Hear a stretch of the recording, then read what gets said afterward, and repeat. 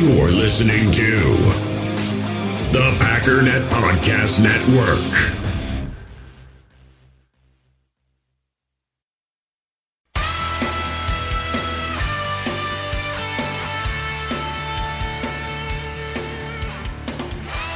Ladies and gentlemen, welcome once again to the Packernet Podcast. I am your host and resident fanalist, as always, Ryan Schlip. Check us out online, packernet.com. Find me on Twitter, pack underscore data.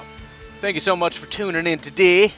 Unfortunately, we did not get any help whatsoever yesterday. All the wrong people won. I mean, Tampa Bay, who cares? But it's frustrating. And uh, the path to the number one seed has been dropped significantly. We cannot get a number one seed unless Seattle loses to the Arizona Cardinals. So, go number two seed. But, anyways, as of today, um, we are going to spend some time talking about all the other games. There's not a ton of implications. I mean, everything's kind of down to, you know, Seattle. Uh, Packers Vikings obviously is important and whatever. But uh, I want to walk through some of those things. Got some questions. Some of those I'm going to push off to Monday. A little bit of news, etc., etc. You know, whatever. As usual, we'll see how far we get down this list. Uh, one of the questions I do want to get to today is from Nick. Uh, thank you very much, Nick, for the Venmo donation. I greatly appreciate that, especially around these times. You know how it is. Um, and also, as usual, a big thank you to Ryan, who's been a regular supporter. It's very, very much appreciated. And for those that don't know, Venmo is also an option. I don't mention it much, but it's it's in the link of links in the description if you were so inclined to search around. So we'll get to that. Otherwise, if you appreciate uh, the work I'm doing, a five star iTunes review is very, very helpful.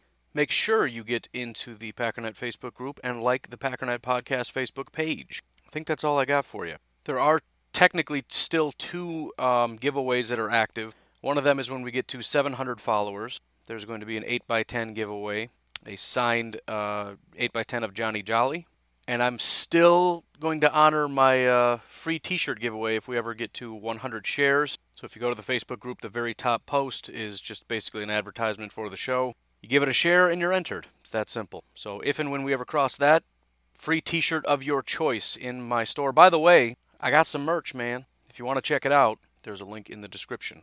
Otherwise, that's about it. Why don't we go ahead and take our break and we'll look at some stuff.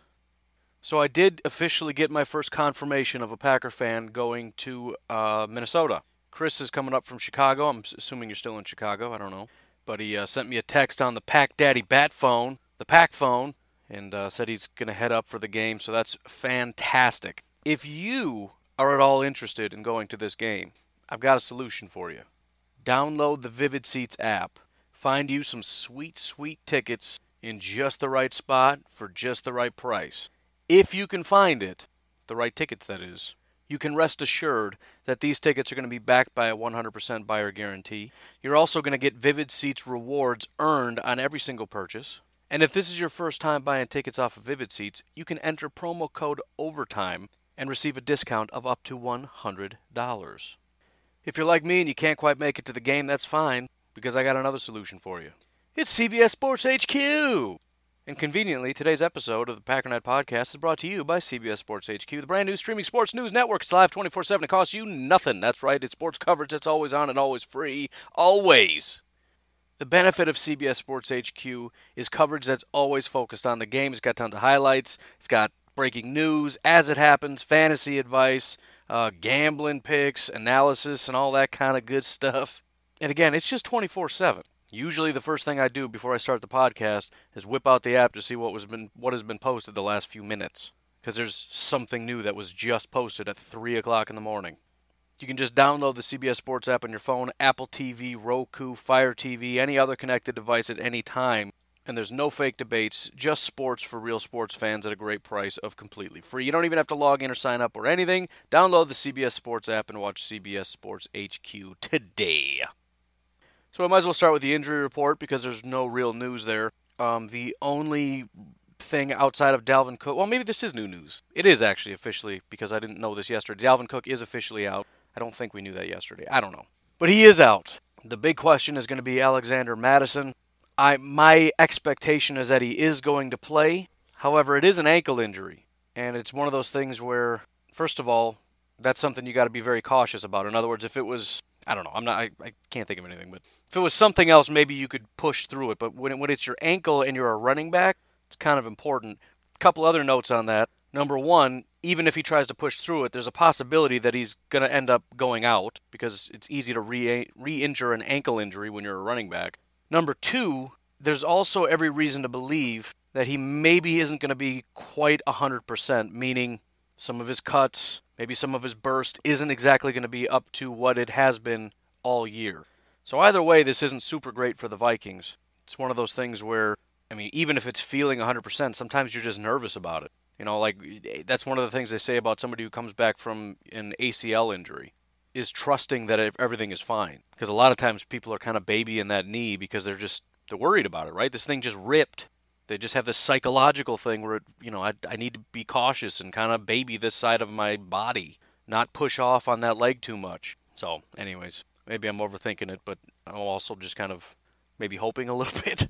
Um, on the Packers side, Dean Lowry is questionable. I'm assuming he's going to play, but make sure you keep an eye on this. And uh, if you're playing the stock market game, make sure either way you're keeping an eye on this because stuff can pop up at any time. And it seems like just about every week somebody goes all in on somebody that just gets shut down. So just pay very close attention to that. Otherwise, not super important news because he was new to the team anyways. But uh, Nijman, who just came up, they just brought him up to the regular roster. Um, hurt his elbow slash tricep. They took him down, put him on IR, and so they replaced him with offensive tackle John Leglue, which you know Again, doesn't super matter. At least I hope it doesn't matter. If we get to the point where Leglue is playing for us, things have gone sideways quickly. No offense to Leglue, but I mean, yikes. Uh, moving on to my Venmo question from Nick. I'll leave it at Nick because this is one of those questions that's going to have somebody ostracized. but I'm glad people feel comfortable asking me these questions because I promise you, if you ask some other people, you're just going to get absolutely, your head is going to get ripped off. But here is the question Are the 2019 Packers frauds? He goes on to say, I think we all might know slash think that deep down. The good news for me is that this oddly isn't that specific. so I've got a lot of leeway to work with here. The, the question is, what do you mean by frauds, I guess? If we just want to look at it from the standpoint of does does the Packers play warrant an 11 and 3 record? I think you could make the case that this isn't exactly an 11 and 3 team. Now it is, so it kind of it's it's a tough argument to make that an 11 and 3 team isn't an 11 and 3 team because you won 11 games and lost 3. But I think if that's all we're saying, then that maybe is fair. I'm not sure I can come much further to meet you at that that conclusion though. Now, another possibility is we're looking at it and saying the teams that belong in the playoffs are teams like the 49ers. The 49ers are 11 and 3. They are third in points, sixth in yards. Their defense is third in points and second in yards. They're basically top five in every single category. Are the Packers the same as the 49ers? No. But again, the word fraud itself is kind of it's kind of hard to because I don't think you have to be top 5 in every category in order to be worthy of a playoff berth. And to take that a step further, you can look at teams that won the Super Bowl that you could technically call frauds. The last time the Packers won the Super Bowl, you could probably say that they were frauds there were a lot of people, probably myself included, that said they're just not even going to be in the playoffs. And then they made it into the playoffs and they fraudulently win, went on to win game after game after game. The Giants the very next year were frauds. Again, depending on what the word fraud means in this context. So, you know, we, we know the Packers are not perfect, but I also don't want to. I think they deserve a little bit more credit than what they're getting. In fact, if anything, you know, that there was a time at which maybe the Packers were getting a little bit too much credit. I think at this point in the season, they're getting not enough credit. As I've been saying all along, you, you don't get 11 wins when you're a bad team. That doesn't happen. And we've seen a lot of times teams that are similar to the Packers that are 3 and 11 instead of 11 and 3 because there's something to be said about finding a way to win in the end. There's something to be said about a team that has so much talent in different places that when one one side powers down, the other side kind of comes up and finds a way to win when the offense stalls out, the defense comes in and, and comes in with a clutch performance. The other side of this, too, and uh, there's an interesting contrast between yards and points for the Packers. And I think it kind of creates sort of that tension that a lot of people feel. What I mean by that is the Packers' offense is 21st in yards, but they're 12th in points. The Packers' defense is 23rd in yards, but they're 9th in points. They're top 10 as far as allowing other teams to score points. So I think there's there's a tension there because what we're watching, you know, the, the points are sort of the, the thing that happen less often. Yards are what happen every single play. And so we're watching an offense that is terrible at gaining yards. They, they just stall out constantly, and it's really hard to watch, and it's really frustrating. There are literally 20 other teams that move the ball better than the Green Bay Packers. There are only 11 that score more points, though. And defensively, there, there are 22 teams that give up less yards than the Packers' defense. An easier way to say that is there are only nine teams that give up more yards, but there are only eight teams that allow less points. And I think some of us, and myself included, you, it's frustrating because you're watching an offense that can't move and you're watching a defense that can't stop anybody. But we also tend to forget that points are all that matter. Yards matter insofar as you feel as though if you continue to allow teams to do this, you're going to give up more points. In other words, the dam is going to break at some point. You can't keep giving up these yards and then just take away the points at the very end. At some point, the team is just going to get a bunch of points. But for the most part, they've been doing it all year. And specifically, if you look at this defense, the San Francisco 49ers game was not great. But if you look at the four other games besides that, they have allowed 13 points, 15 points, 13 points, and 16 points. The most points that this team has allowed defensively since November 4th, I guess, is uh, 16 points. And even if you go beyond that, 26, 24, 24, 22, 24, 34, 16, 16, 3. There's only two games this year where you can look at the defense and go, that was a bad performance. 26 points in the NFL is not that bad. That's what the Chargers scored. On average, teams are scoring maybe mid 20s. Maybe. And if this if this offense could be more consistent, I mean, th- this team is, I mean, I can't even really make the statement that they would be more consistently winning because they do consistently win. They only lost three games this year. But you get my point, right? I mean, the, if the Packers can consistently score more than about 24, and the Packers defense could keep them consistently under 24, what exactly is fraudulent about that? I know it's not perfect, but we can't hold any teams to a standard of perfect. I would like them to be more consistent. I would like the offense, especially, to find more consistency through four quarters, to not stall out, to be able to play better against good defenses. Although, again, 21 points against the Bears is about the most points. Most teams don't score 21 against the Bears, so you can't really super complain about that either. So I, I guess the answer to the question is no, I wouldn't go so far as to say fraud. They're, I don't think they're the best team in the NFL, but that doesn't make them frauds. And if you want to say they're not quite 11 and 3, that's fine, but I, I, have gone through, let me see if I have it here. Yeah, so I, I did this thing a while ago just for fun, where I, ra- I, I took teams and their records and then I looked at their PFF score to kind of get an idea of how good they are to, to gauge whether they are over or under what they should be. In other words, the Dallas Cowboys were a minus five because they're based on how good their PFF grade was. I said that they should be around an 11 win team, but they had six wins at the time, meaning there is a five win discrepancy there. So they are five games under what they are or should be expected to be. The Green Bay Packers, I had a plus two because at the time they had 10 wins and I said that they were about an 8 and 5 team, meaning that they were about 2 games higher than what they probably should be. But there's a lot of of teams that have I mean I don't think anybody the the only team that was right on where they should be was the Cincinnati Bengals at one win. But for example, teams that are bigger frauds, number 1 was the Jets, number 2 was the Chiefs, so the Jets were 5 wins above what they should be. The Kansas City Chiefs were 4 wins above what they should be. I had the Dolphins, the Jaguars, and the Texans three wins above what they should be. And then the Raiders, Bears, Bills, and Packers were two wins above what they should be. And then you got a bunch of, of teams here uh, Cardinals, Redskins, Panthers, Browns, Falcons, Chargers, Colts, and Patriots are one win above what they should be. And it, it, this isn't an exact science, but you get my point, right? It's not as though everybody has earned their exact record and the Packers are just these complete frauds. They're basically a 500 team that somehow is getting lucky. No, not not by as far as I can kind of gauge this. Maybe they've got about two wins above where they should be if we just went based on talent and, and assigned records to teams based on talent. And again, there's a lot of ifs, right? What, what is the exact metric for grade to to record for one, and then how much stock do we put into PFF and whatever? And again, nobody is dead on except the Cincinnati Bengals. Some are overperforming, some are, some are underperforming, and it's not even a knock against a team if you're overperforming. Overperforming, generally, the way I look at it, means you're a well coached team. right? If you don't have talent, but you're finding ways to win despite the talent, that's a positive sign. What you don't want is to be the Dallas Cowboys, where your talent is, is an 11 win team, but you only manage six wins. Those are the teams, when you're looking at it, you need to fire your coach. The Denver Broncos, minus three. They're, they, they've got a really scary defense if you just look at talent. And the offense, you know, it's lacking in some places, but it's, it's, it's not the worst. And so that's problematic. Now, should they fire their coach? No, it's his first year. We'll give him some more time. So, you know, again, my, my answer is no. I understand the frustration. I understand the desire for please can we be more consistent? Please can we stop stalling out and find answers to these questions or, or whatever the, the case may be. But they're an 11 win team.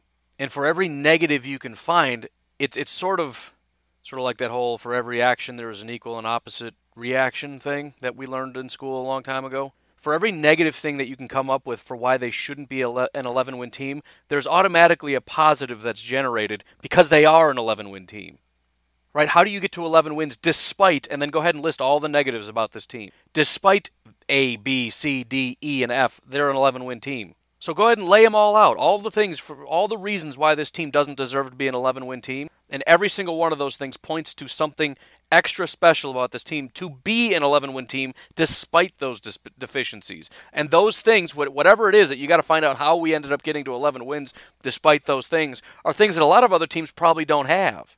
What are the 49ers if they had the Packers deficiencies? Do they have 11 wins? No, they've got 11 wins with the all the talent and everything else that they have, which I don't even know if they're that super talented. I don't know. So again, I you know, it, it would be more of something for a discussion than it is a question because we'd have to kind of and you went all in with the word fraud, so you, you know I can't just give you a blanket yes on that. I mean, th- this is something to be respected and admired. I don't know if they're going to win the Super Bowl. I'm not going to tell you they're the best team in football, but 11 and 3 in LaFleur's first year, winning the NFC North, possibly a number 2 seed, the, the number 2 team in the NFC. I'm sorry, I, I can't call that team a fraud. Just just I mean, maybe we could have a discussion about it, but I mean, that's I mean, I, am I, I would have to have this podcast pulled from me if I'm calling them frauds after winning the number two seed in the in the NFC. I just I can't do that. So again, the, the best I can maybe do is say that based on some of the talent that they have and some of the inconsistencies, they look at times more like a 10 or 9 win team or whatever, but every team has that. We see it every week when teams that get blown out by teams that are nowhere near as good as them. That's football. The point is find a way to win. As I said before, the, the, the most true statement that has ever been said in football, that, that the conclusion that I've come to after doing this for as long as I've been doing this now every single day, is just win. Just win is the most important thing that is ever that you could ever uh, uh, try to achieve. I'll get the words out someday. It's the most important thing that you can do. Find a way. It doesn't matter if it's ugly. The only reason ugly is problematic is because it sort of we believe it foreshadows the future, which is a unfortunate future. The, the problem with that argument is that we've been wrong. If we were looking at the first three weeks and we were looking at it saying the defense is great, but with this offense, we're never going anywhere. Despite the fact that they found a way to win, the feeling that we had is this isn't good enough for us to be an 11 win team. We'll never be an 11 win team with this, this kind of a team. The inconsistency, the lack of offensive production, that has to change, or else we're not going to be a playoff team. Look where we are now. They didn't fix it. And, and, and at times when the offense did find their groove, found their rhythm, the defense fell off. Whenever this guy comes up, this guy goes down. When that guy goes down, this guy comes up. They've been doing it all year, but the, the one consistent thing that they've done this year, with the exception of three games, is to find a way to win. And that's the only thing that matters. And especially when we're talking about playoff football. There are no style points. The only thing that matters is a team that grinds, that that doesn't quit. And it's you know, it feels like they quit, but we know what quitting looks like. The team that quits is the team that loses. They they stall and it looks like they cut the engines, but they find a way to win. And when you get into the playoffs, that's the only thing that matters. I don't know how the Packers go to San Francisco to beat them, but I don't have to worry about that right now. And neither do you, neither does anybody else. We got some time to figure it out. All we need to focus on right now is beating the Minnesota Vikings so that we can lock up that number 2 seed. That's all we got to figure out. And and here's the other thing if the Packers beat the 49ers, it shatters a lot of this narrative. If they lose, it's expected. And we still win the division, and we still go to the playoffs, and we still have the opportunity to shut a lot of people up. If the Packers win, everything gets flipped on its head. Because the Packers aren't supposed to win. The Vikings don't lose in Minnesota. The Vikings are better than the Packers, so they say. Aaron Rodgers is a fraud. You know, it's all just the refs and blah, blah, blah, blah, blah, blah, blah, blah, blah. If the Packers beat the Vikings, who can't they beat exactly? Especially if we're doing it from Lambeau. You know, part of what I have to do is analyze things, but at some time, at some point, we analyze things too much. And again, I tend to be somewhat of a negative person. I try not to be. That's just where I go naturally. I'm the person that watches football, and when we don't get a first down, I just throw a temper tantrum because like we're not going to win now. I'm trying to stop that because at the end of the day, this is supposed to be fun. Let's root for the team, be excited about the team. Because at the end of the day, as much as I, I really don't understand the overly positive people, they are all exactly right. That if you can't enjoy an 11 and 3 Packers team, there's there's no point to watching football. If the only way that people like me and people like Nick can be happy is to be undefeated, to be a team that has no weaknesses, and a team that wins the Super Bowl every year, we're never going to be happy. There always is going to be struggle, and you got to embrace the struggle. You have to. Every team has weaknesses. Embrace it. We have to learn to embrace the weaknesses, the strengths, the struggles, the climbs, the falls, all of it. If you're a, if you're a fan of a particular team, you gotta be ready to you know, endure all of that and ride with them no matter what. Not to say you can never critique the team, but you know, you, you got to find that line. And it might be different for every person, but you know, you got to look a little bit introspectively and say, dude, I, I just called an 11 and 3 Packers team frauds. That's my thought. And again, I'm coming from the standpoint of being, you're my people. I understand how your mind works. It's why I don't just come on here and, and, and eviscerate you because I know how your mind works. I'm just telling you, you're going to be a miserable person if you're a Packers fan that only likes Packers teams that are basically undefeated. And by the way, when was the last time the Packers were 11 and 3? I mean, the Packers haven't even had 11 wins by the end of the season since 2014. And even that year, they they never got to 11 and 3. They got to 10 and 3, and then they lost to the Buffalo Bills and went 10 and 4. So the only time that this has happened was 2011. They went 13 and 0 and lost to the Kansas City Chiefs to go 13 and 1 and ended the season 15 and 1, which is great. And that was a fun time, right? That was back in the day when everybody in the media said this is an unbeatable uh, a team that can't lose. Nobody can beat this team. This offense is unbelievable, and it was. Unfortunately, it was one of the worst defenses in the league, and that bore itself out when we played the Giants and gave up 37 points, which was the second highest point total that had that the defense had given up all year because you got that extra volatility, and the offense didn't play all that well. The only team to score more points than that was the Chargers, and the Packers scored 45 points because it was the 2015 Packers. But but again, my point is, if this is all we want, I I demand 15 and one, number one offense in football, and also I demand that we go on into the playoffs and win and go to the Super Bowl and win it. And and listen, I I got a friend, my best friend from Illinois Chicago Bears fan, also a Denver Broncos fan. He gave up football because he's one of these people. He says the only thing that matters is Super Bowls, and anything less than that is a failure. Guess what? Football makes that guy miserable. And so he walked away, and that's the right thing to do. Because you're going to be miserable all the time. Because you're going to lose a lot, and you're going to see a lot of terrible play, and you're going to see a lot of interceptions and fumbles and, and sacks on third and short when you could have been kicked a field goal to go up by two scores, but instead you decide to throw a really deep pass to only one wide receiver who magically doesn't get open when one guy is trying to get open against six defenders, and then somebody comes through and sacks your quarterback, and now you're out of field goal range. That stuff will drive you crazy. But you know what? Every team endures it. Every fan base has to watch that stuff happen and just say, why did that happen? That's what football is. And now it's even worse because we got the layer of referees. And I, I just think that's, I had this thought this morning. That's just a part of this game now. Complaining about referees. Plays that, calls that go against you that are just infuriating, calls that go for you that are terrible, that you just feel terrible about. Because it's like, why did you make that call? Because now everything that's been done, all the, this entire drive, which you know, if it's if it's not a, you, you almost you don't hope it's not a scoring drive, but if it is, it's got that asterisk next to it just like what happened when the Packers won last week. Well, we could easily take away seven points from the Packers for that, which you can't, but it's just, it causes those kinds of. That's football now. And if you can't deal with it, you're going to be miserable. So even if the Packers lose on Monday, and I don't want them to, of course we all want them to win, there needs to be a part of us that says that it's okay, that our lives will continue, that an 11 and 4 team that split with the Vikings and beat the Bears twice and beat the, the Lions twice, that that's still an okay season, especially when you win the division and are the, you know, number whatever seed in the division. There has to be at least a little part of you as angry and disappointed as you are, which is fine after a loss. You're you're allowed to go off and just storm off and throw a temper tantrum. But there has to be a point at which you come back and say, "Okay, this is still okay." And again, I'm just trying to help you out because this is after a 3-game winning streak in which the Packers defense hasn't allowed more than 15 points and is now 11 and 3 and your question is are the Packers frauds? Not mad at the question. I'm just worried about you, man. I want you to be happy and I want you to enjoy the Packers a little bit. Enjoy the season. Enjoy 11 and 3. We might not see 11 and 3 for a very long time. Again, the last time we saw 11 and 3 was 2011. This might be another 8 years before we see this, man. Enjoy this. I don't know what's going to happen. Maybe this is a fluke and everybody figures out LaFleur after one year, just like what happened with Nagy, and then everything goes downhill and it's just a terrible, Enjoy it, please. Please enjoy this. That's it. I think I've made my point. So, anyways, I'm going to push one of these things off until tomorrow. I think we'll take a break and then look at these games and then call it a day.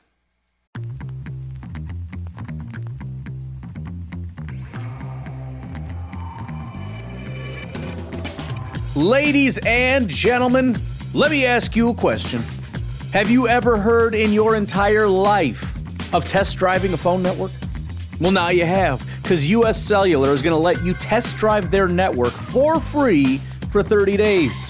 So, anywhere you go where you got some dead spots, where your service isn't super strong, you're trying to listen to the podcast and it drops out when you go here because you got no internet service anymore.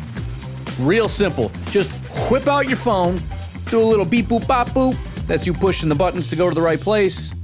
And you can get the app and try it out for yourself. So go ahead and test drive US Cellular's award winning network free for 30 days. That's US Cellular, built for us.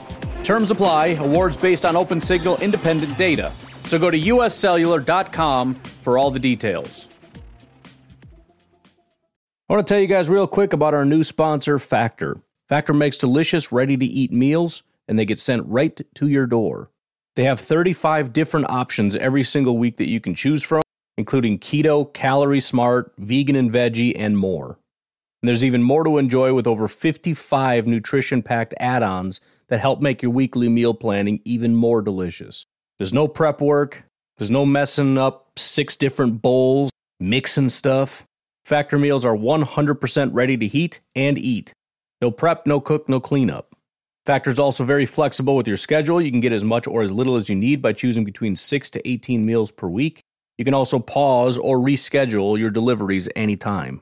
Factor is less expensive than takeout, and every meal is dietitian approved.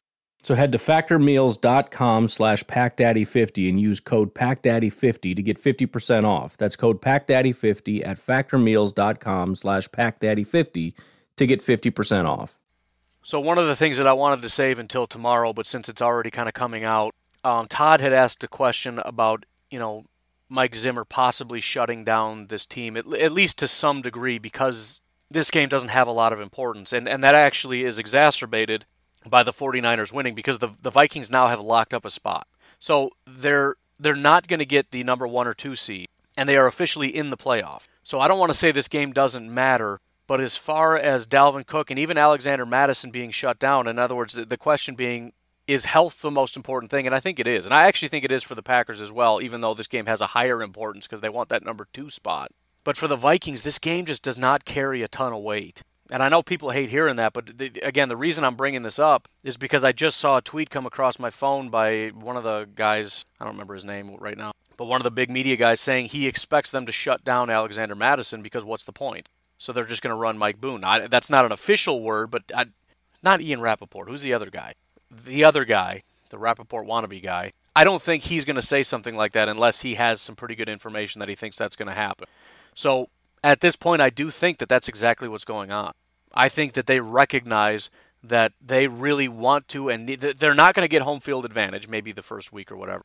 And it looks like, if I'm not mistaken, the best that they could really do is go from a sixth seed to a fifth seed, and that's if Seattle loses to the 49ers. And actually, that's not true. It's only if Seattle loses to the Cardinals and the 49ers, which is not going to happen. I'm, i really I hate to tell you that. I mean, if it maybe I, maybe, but So what, what are they shooting for here? They're not going to get the, the no, number one seed. They're not going to get the number two seed. They're not going to get the number three seed because that's going to be the Packers. They're not going to get the four seed because that's Dallas who won their division. So they're going to risk losing one of their running backs to go from a sixth seed to a fifth seed, which is almost impossible for them to get. Seattle has to lose out for them to move from a sixth seed to a five seed. And even at the, even at that, they're not going to play at home because the fifth seed is just going to play the Dallas Cowboys, the fourth seed, in Dallas. And I listen, I, I understand some people hear this and they just shake their head like no team would ever do anything like that. Ever. You play to win 100% all the time. There has to be some kind of a cost benefit analysis in football. I'm really sorry to tell the purists that. There has to be. There has to be some part of you that says winning in the playoffs is more important than beating the Packers for pride. And listen, they still think they're going to beat the Packers, but you're not going to risk losing your running backs, which is a central part of your entire team is running the football just to beat the Packers for the sake of beating the Packers. If it so beating the Packers is more important than winning in the playoffs. And by the way, if if the Packers um, do end up not getting that that uh, in other words, if the Packers end up being the number three seed instead of the number two seed, the Vikings are going to go to Lambeau and play the Packers. I'm guessing they want their running backs healthy to beat the Packers next time because there's going to be a lot more pride involved in that game and a lot more need for your running backs when you're playing away in Lambeau Field in the freezing cold in January. It's going to be more important to have, you know, Dalvin Cook and Alexander Mattison going at full speed in that game than it is in this game. And a game that they probably believe that they can win with Mike Boone anyways because they're at home. Their defense is just just freakish when they're at home. So again, the cost benefit is so far in the direction, and it, it, it depends on his ankle. If his ankle's fine, you're not going to shut him down just for the heck of it. But the point is, if it's iffy and if you're worried about injuring it further, absolutely you shut him down because there's just nothing more to gain or lose in this game. And that's what I kind of talked about yesterday how this game, the as important as it feels, because it's down to the wire and it's a divisional matchup. The fact of the matter is, the Packers won the division, unless there's some freakish thing where they lose to the Lions, who have completely shut down for the season. So the the Packers win the division. Um, the Vikings cannot get a bye. They're locked into the playoffs. The best they can do is get a number five seed, which is also impossible. So the Vikings are a sixth seed no matter what happens in this game and you're going to risk losing a running back for the playoffs on the off chance that what the Packers lose to the Lions next week and we end up sneaking into the three seed. Again, it, it's all cost benefit depending on his ankle. If his ankle's fine, you play him. But you already got guys. It's going to drive me nuts. What is the guy's name? Adam Schefter. Here is his tweet. He must have sent it out a second time because I got it up again. With the Vikings now having wrapped up a playoff slot, it doesn't make a lot of sense for Minnesota to play an injured running back Alexander Mattison. And so, with Dalvin Cook out and Mattison hobbled, Monday night figures to be the Mike Boone show.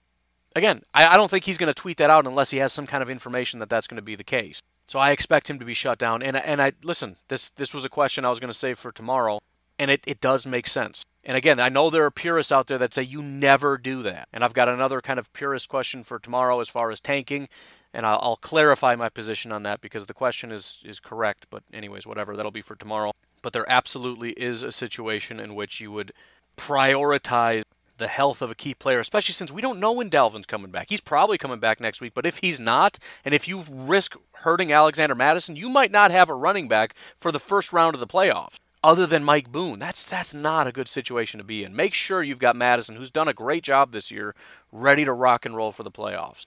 So I kind of cheated on that question having this tweet come out at that exact time. And again, I wanted to talk about it today instead of tomorrow because it'll be old news by tomorrow, anyways. But yes, uh, I do think it's possible that there is a bit of a, a gearing down. Of course, the Vikings are coming 100,000%. They want this win badly. But you have to be smart about it. Somebody at some level has to be smart enough to look at this and say, listen, I know we want and need to beat the Packers. We cannot risk losing our running back just because maybe it gives us a little bit more of an edge to beat the Packers. Can't do it. So anyways, there's that. Anyways, let's look at a few of these games. We'll rip through them because, um, you know, implications, there aren't much these days. Uh, Giants, Redskins. And, and part of the question for tomorrow, Richard is talking about tanking because I'm going to be talking about that quite a bit today. I don't want to answer the question. I won't. I'll save it for tomorrow. So I'll just continue talking like I don't know anything about it. The only thing that matters in this game is the draft. L- think about it from the standpoint of the Giants and the Redskins.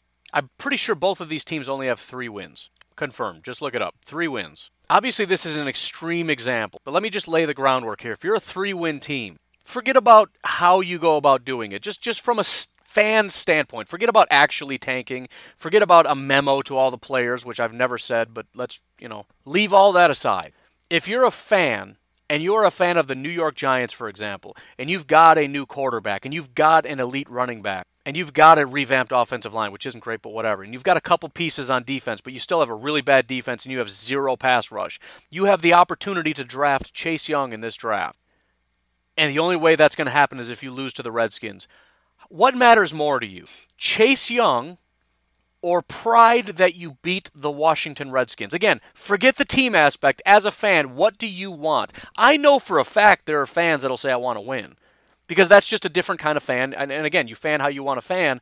I can never be that person. Because I see the bigger picture. The bigger picture is, in my opinion, you want to win because all you care about is today. And I want to watch my team win because that's what I do. I just cheer and, yay, I want to win. But what you're not doing is acknowledging that in the future you're going to lose more games. You're hurting the future for the sake of the present. Again, it's a much more complicated question when you talk about implementing a tank, which we'll talk about tomorrow, but just just look at it from the fan standpoint. If you are a Giants fan or a Redskins fan and you're rooting to win, you're doing it wrong. And as painful as it might be to root for your team to lose, you got to find a way to do it because that's dumb. You're going to give up an opportunity to, to eh, potentially even have a number one pick, but for sure a top three pick, possibly even a number two overall pick. You're going to throw that away and end up picking seven and get some garbage guy that's probably not going to do much, like an interior offensive lineman, as opposed to like a Chase Young type guy. And why? Because you wanted to beat the Redskins? Tell me how that makes sense in your mind. Well, because a real fan would get your real fan out. Yeah, a real fan wants to lose in the future because you can't. You, it's more important for you to beat the Redskins than to possibly have a shot at a guy like Chase Young who could help us be a playoff team or possibly win a Super Bowl one of these days. You're telling me I'm the bad fan because I actually want this team to be good. Because a 4 and 11 team doesn't mean as much to me as possibly being a playoff team next year? Yeah, I'll be that fan. I'll be the guy that wants to win the playoffs next year. You go ahead and be the guy that wants to be 4 and 11 for, for the next five years. You be that guy, I'll be this guy.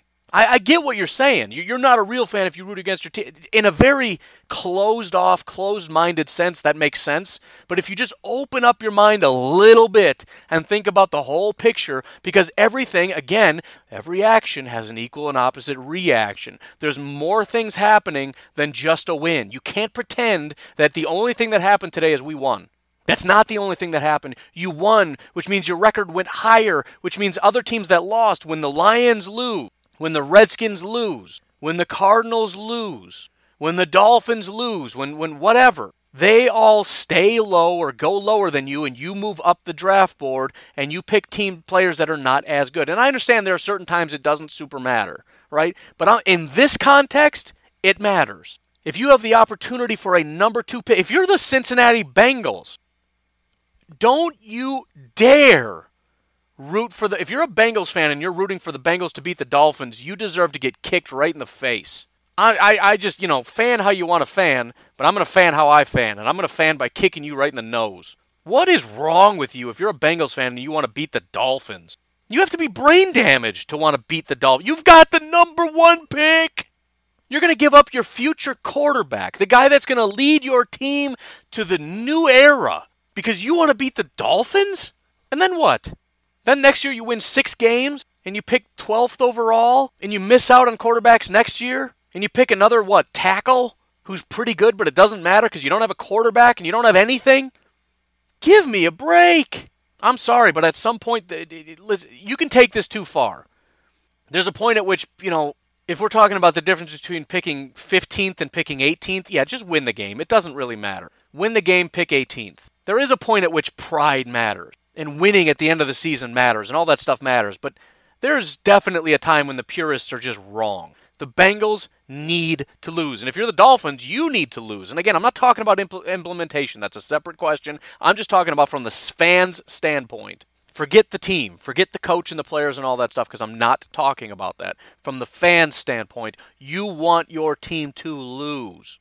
Right now, if you're Oakland and you're 6 and 8, eh, if you want to root for your team to win, fine six and eight, seven and eight doesn't make a huge difference. No, it might because there's a ton of five-win teams, and if they end up winning and you can go beneath them, fine. But you know, Chicago seven and seven. The, the only team that has more wins that's out of the playoffs is the Rams at eight and seven, or, or and and well Tennessee isn't. I don't think they're officially out. I don't know. Maybe they are. They've also got eight wins. The bottom line is they're going to be picking like 18, 19. Oh, they don't even have a first round. So yeah, definitely you win because who cares? You're going to go up what two picks higher in the second round? Win, just win. I, I don't want you to win. I'm just saying if you're a fan of the Bears, do not root against them because you're going to move up two spots in the second round. That's dumb. But again, from a fan standpoint, there are certain teams that I'm very sorry, and I know you're loyal, and I know you got Bengals wallpaper all over your house, and your your bathroom is a Bengals toilet, or you know, Steelers toilet, or whatever. But if you care about your team winning in the future, it's more important that you lose. Okay? So the first game is Giants Redskins. The team that wins is the loser. End of conversation. That's just the way it is. The team that wins this game is the loser, and it's not even close to being debatable. If you think the pride of winning this is going to help in 2020 more than drafting a guy like Chase Young, you're out of your mind. You're a crazy person. Because there is no pride in being 4 and 11. Nobody is finishing 4 and 11 and going, "Yeah, but we beat the Giants, son." And obviously, you're not going to finish the season 4 and 11, but you, you get my point, right? You guys are trash. Yeah, but dude, do you see how we beat the Giants? Dude, kick the field goal in overtime, beat them. Totally dunked on them, bro. Going to the Super Bowl this year. Not how it works. Sorry about that. This is going to be every at, at the end of the at the end of every season this is going to happen. I just I know it's going to happen. It's what happened last year, it's going to happen next year. The conversation about tanking. Again, I'll clarify tomorrow what I'm talking about. Um, Saints and Titans. This feels like a bigger game than it kind of really is because the the thought process for most Packers is probably that we want the Titans to win because then it gives the Packers a little bit more leeway to lose and still be number two. That's not how it works. If the Packers and the Saints both win, the Packers are the number two seed, right? Because we own that our own control our own destiny. Unless the 49ers and Seahawks both lose, which is already done because they didn't. So that's forget that. Here's the other part though. If the Packers and Saints both lose, the Saints then kind of take that spot from us. In other words, if, if both teams lose, if the Packers and the Saints both lose, then by the end of this week, the Packers are the number two seed and everything seems super great, right? The problem is next week, if and when the Saints beat the, the Carolina Panthers and the Packers beat the Lions, the Packers lose that number two spot. There's some kind of a you know divisional tiebreaker thing going on with the Saints because they're going to beat a divisional opponent. So their in division record makes them beat us as far as the tiebreaker at 12 and 4. In other words, if we lose this game, we're probably going to lose the number two spot. The only way that we don't is if the Saints lose both games this week and next week. So really, it doesn't super matter because the Saints aren't going to lose two in a row. The Packers just need to win. So yeah, it's going to help our odds ever so slightly, right? So in other words, if the if the Saints lose to the Titans and the Packers lose to the Vikings, we absolutely need the Saints to lose to the Carolina Panthers. If they do, then yeah, we get the number two back. So it, it gives us a little bit of an out, but it, the, it's not that it's not that big of a thing because it's probably not going to happen. So yeah, we need to root for the Titans, but it's not as big of a deal because again, more than likely, if we lose this game, we lose our spot, even if the Saints lose to the Titans. So it's a big game for the Saints because they obviously want to claim that number two spot. And if they win and the Packers lose, they pretty much got it, as long as they can finish doing their job against the Carolina Panthers, which should be pretty easy work. It's also a big game for the Titans, however, because they still have the opportunity to uh, get into the playoffs. But if they lose to the Saints, I'm not sure how much of an opportunity they're going to have. I don't think it means they're eliminated, but it obviously makes it really, really tough. They're trying to beat out the Pittsburgh Steelers who are playing the Jets, so they really need to pull this off. So go Titans, but again, like a lot of these other games, it feels like a bigger game than it is. Uh, Steelers Jets again. I just talked about the Steelers are kind of competing with the Titans, trying to get that number six seed or whatever one it is. Um, and to make matters worse, they're playing Baltimore next week, so they really, really need to beat the Jets. The Jets, on the other hand, are not playing for anything, and uh, you know, at at five win, there's a lot of five win teams. There's the Denver Broncos, there's the Chargers, there's the Jaguars, there's the Panthers, there's the Falcons. There's a lot of teams that if if you know if three of those teams go on to win and you lose, you just moved up three spots in the draft. Again, I know people don't want to hear it. I don't care. Five wins is kind of at that point where if you keep winning, you're going to be picking at late teens. If you keep losing, you're probably top 10. If you end the season at five wins, you're going to be a top 10 pick with a real outside shot at maybe even being top five. And that's that's that's generally my metric. There, there's those those kind of breaking points, right? If you have the opportunity to be top five, that's huge. If you can be top 10, that's really huge. If you're outside of the top 10, kind of doesn't super matter. Like if you don't have a chance of being inside the top 10, it doesn't really that matter that much. And I, I say that based on I did a little bit of a study in the past looking at PFF grades in comparison to where they were picked in the draft, and there's a definite drop off after around like 10 to 12 to where the, the number 12 pick and the number 20 pick, there's like no difference. Obviously, this isn't the entire history of football. It's just like two years or something. I did three years. But um, there's, there's a definite difference. And it probably matter, changes from draft to draft how many truly elite players there are. But, you know, as a general rule, once you get outside of 10, there's probably not. And there's going to be some good football players, but there's not the automatic guys. It's just kind of a, a luck thing, right? Like Kenny Clark he obviously would have been a top 10 pick if anybody knew he was going to be that good, but he fell to the Packers because nobody really knew, and then it just becomes luck. Getting that guy that you hope can kind of pan out, and usually they don't, but sometimes they do. Bengals Dolphins, as I talked about, both teams, and, and, and, and to kind of give a preview to tomorrow, I don't think any of the players are going to be quitting, but as a fan base, it's just this is all about the draft. It's only about the draft. And if the Bengals win this game against the Dolphins, they are just the worst. And to be fair, they're still the number one pick, so they can afford to do that once because then they have two wins, and everybody else has at least three. So you can win one and still be all right. But I don't know, man. Uh, you're playing a dangerous game. Playing the Browns the next week, you go on to win two in a row and lose that spot. Oh, makes me sick just thinking about it. Like legitimately sick. The, o- the only real reason, and, and it, it's only if you're super big on like losing, just destroys the psyche of a team. And even at that, again, we're talking about a team winning the the difference between a three win team and a one win team. You're going to tell me that it makes that big of a difference? I'm going to tell you you're wrong. But the only argument you can make is, well, if they're okay with Chase Young and Joe Burrow and Tua, then you could probably win two in a row, still probably maybe be a top three, and then get one of those guys. But I just, I'm not playing that game, man. I'm sorry. I'm just not playing it. We got number one locked up, and we need it. The Bengals have been one of those teams that have picked at like 12 to 15 for like a dozen years. And so they can never upgrade their quarterback. They can never really truly upgrade anything. They get these kind of good, not great, mediocre players because they're a good, not great, mediocre team. That's the worst thing you can be, by the way. Obviously, the, the ideal is to be a Super Bowl caliber team. But if you're not, rip that thing all the way to the ground and draft high. The Bengals don't, though, because they're okay being mediocre. At least this is the inside in excuse me, the inside information I had received on them that they they just care about being good enough to get people in the seats and make some money and they don't really care. If they were smart, they'd rip that thing down to the ground, be a team like what they are now, get the number one overall pick, and actually start making some progress here. Uh, Panthers Colts, this is a, a massive who cares kind of game. Uh, both teams are out of the playoffs, but neither team is like a three win, so it's you know it kind of doesn't super matter. So it's just you know whatever. Better luck next year, I guess. There's not not a whole lot going on there. Um, Ravens Browns again, it's another one that maybe might feel like there's some implications here, but there's not much. The Ravens almost can't lose their spot. They're they're basically locked at number one. The only way that that would change is if the Ravens lose out, which is to lose two games in a row. They lose to the Browns, they lose to the Steelers, and the Patriots win next week because they already won one. So if that doesn't happen, and I'm assuming it's not, the the Ravens are 100% the number one seed.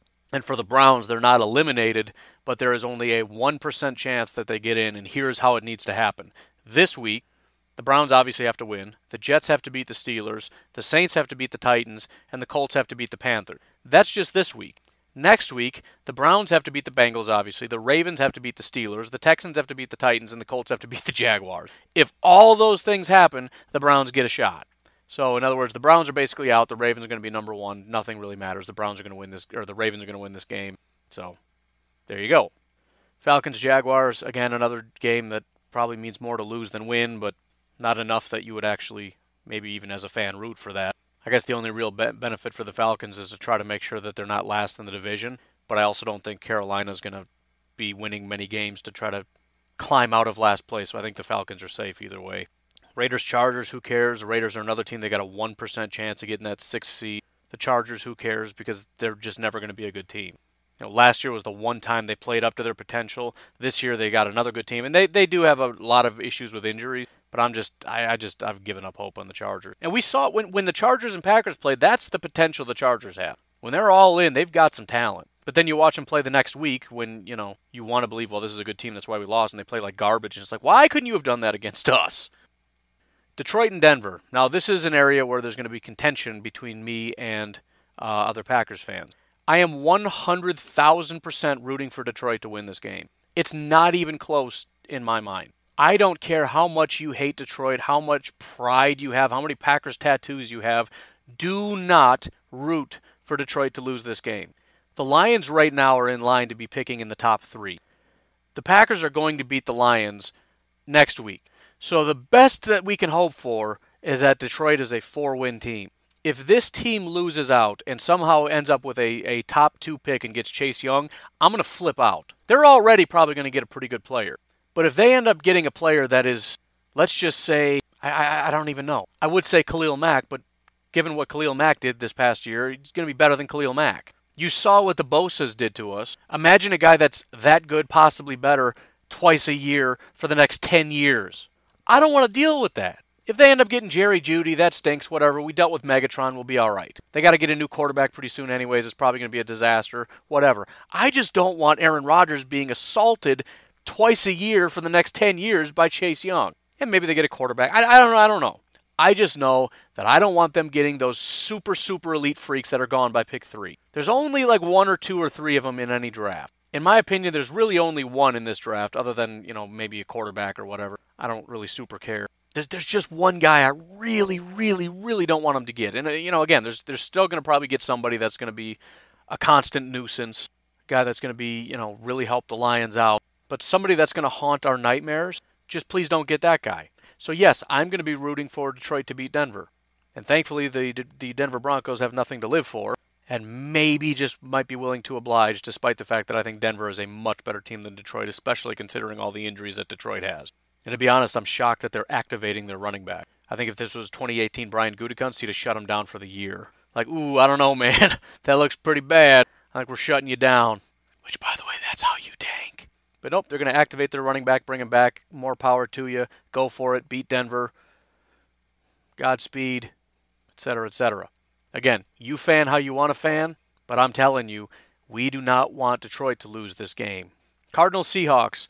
This is the most important game outside of Packers Viking. The only possible way that we get this number one seed, as I said, is for the Cardinals to beat the Seahawks and then the Seahawks to beat the 49ers. That's it. That's the only possible way. If the Seahawks win, we're not getting it. Very, very, very, very, very, very, very important game. Extremely unlikely, but unlikely stuff happens every week. Let it be this week. It's a divisional game. Crazy stuff happens. I don't know. Cowboys Eagles, I couldn't really care any less. Um, it's it's a very big game for the Eagles. They have to win out in order to get that spot. And the reason I say that is because the Cowboys are playing the Redskins in Week 17, which is going to be a win. So the Eagles need to win this game, and next week we'll see what happens. Again, I don't really super care. Um, I think both teams. I mean, I know we lost to the Eagles, but I mean to be completely honest, both of these teams have enough talent on their roster to beat the Packers. Both of these teams are very beatable for the Packers. So I'm, I'm not trying to be super disrespectful and be like, I don't care, they're both garbage, I'm not worried about it. Anything can happen. I'm just saying I, I don't really have a really big rooting interest either way. So whoever it is you think has the upper hand in beating the Packers in the playoffs, root for them to lose. I don't super care. I'm tiny bit scared of both of them, anyways. And then Chiefs Bears, I don't really see any reason to uh, root for the Bears in this. Again, the draft, there's really not any implications. And so the psychological aspect of the Bears losing is much more important in my mind because the Bears have to get to eight wins to be 500. And they're playing the Vikings next week, so they're probably going to lose next week. If they lose to the Chiefs, which they probably will, they are below 500 after going to the playoffs last year that carries a lot of weight, in my opinion. From a psychological standpoint, from a Packers fan standpoint, from a Bears fan standpoint, like the whole ecosystem of the NFC North changes if they don't get to eight wins. And that excites me a little bit. So, yes, go Chiefs. But, uh, anyways, that's about it. That's all I got for you. Got some football. Again, not a ton of it really matters outside of, you know, probably wanting the Saints to win or the Titans to win just in case. Definitely want the Seahawks to lose. And then, uh, I want Detroit to win, and I want the Bears to lose. Otherwise, who cares? But it's a relaxing Sunday. We don't have to super freak out about anything. We got the day off. So I hope you all enjoy it, and uh, I'll talk to you all tomorrow. Have a good one. Bye bye.